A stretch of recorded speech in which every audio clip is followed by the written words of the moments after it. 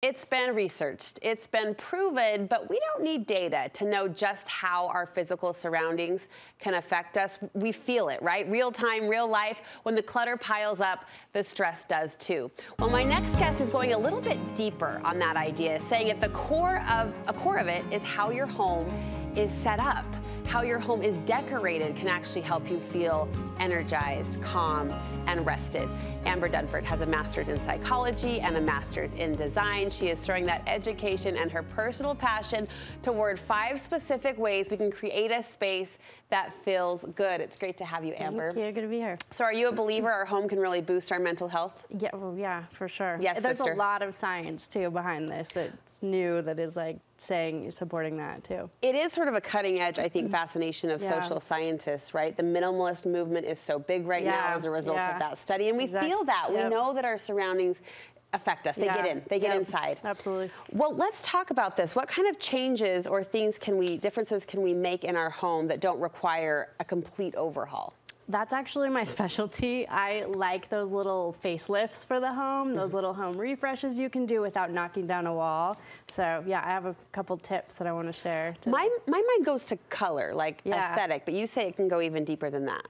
Yeah, color is a big one, and that's probably one of the easier ones that we can do. You can paint a wall, you can do a plaster treatment. There's all kinds of things that you can do with color. Um, as far as what colors to choose, monochromatic spaces humans find more pleasing when there's not like high contrast. So that would be taking like green and then playing with all the range of colors within that green. Those have proven to be a lot more stress inducing, or Less. less stress inducing. Less. Thank you. So monochromatic. So I'm picking a color that I love, blue, Yeah. green, and I'm Yep. doing all different shades. That's calming. That's been proving to Yes. be calmest, Yeah. calming to the nervous system. You can do that in um, neutrals as well if you like neutrals. So just kind of playing with the range, yeah. Okay, monochromatic, noted and noted.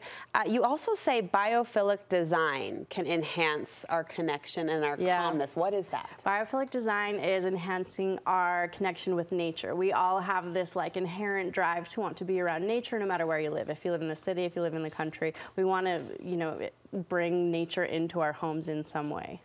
And can we, so any style, any design mood in your home can be enhanced by this type of approach? Yeah, if you are more into the rustic, you want to maybe lean into some of those like tarnished finishes and some of the things that look like they might be found in nature, like rust things, um, things that have like a visible wood grain. Mm-hmm. Yeah, or if you want to go modern, you can lean into more of the stone.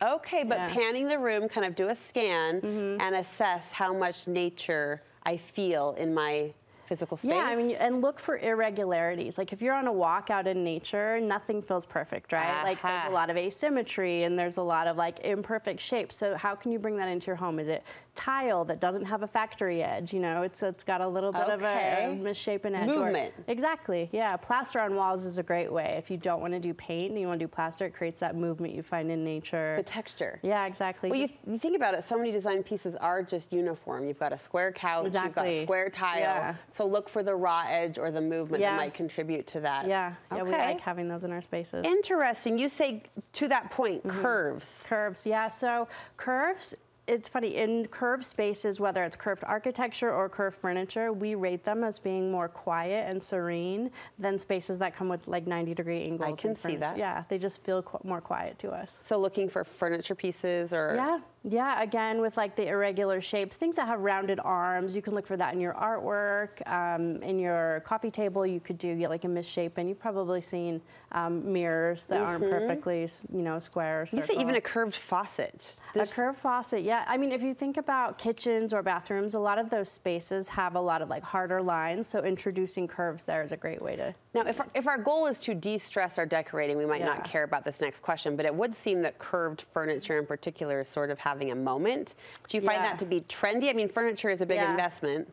It, it, well, I mean, curved furniture has been around so long, but it, if you've noticed, it's getting a little more playful and a little more artistic, and, and our furniture is starting to look like art pieces in a cool way, and, and bringing in curves in places where you might see more straight lines in the past. Okay, so I won't feel like it's a wasted trend if I jump on it now. Oh no, I think you'll, it'll continue to evolve. Okay, we know lighting plays a big part in our mood and our Mm-hmm. Psyche. What kind of lighting works best for the more peaceful at-home vibe we're going for? So um, both humans and animals prefer to be in what's called dappled lighting, and that's that lighting that would break through the trees on a sunny day. How do we know animals prefer it?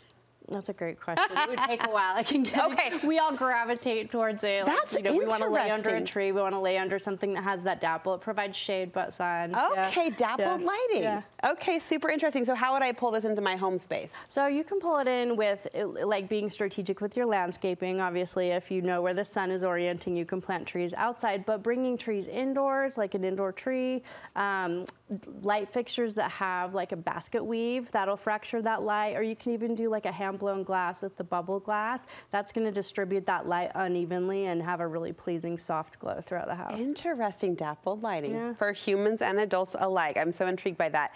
Uh, this next tip is so interesting. Tell me about refuge theory.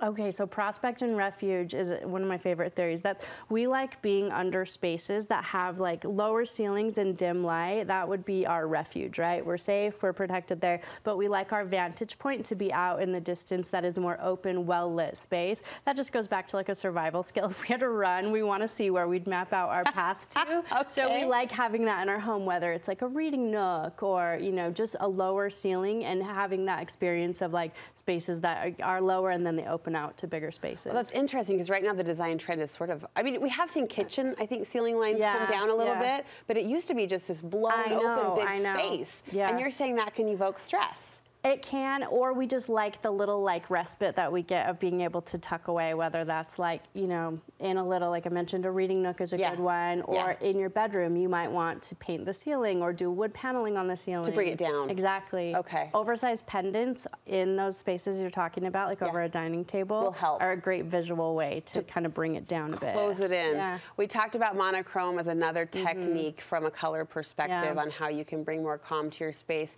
How would you describe, Amber, in conclusion, if you were to implement one or even a couple of these design strategies? How would you describe the difference? What, what would a home feel like with these features?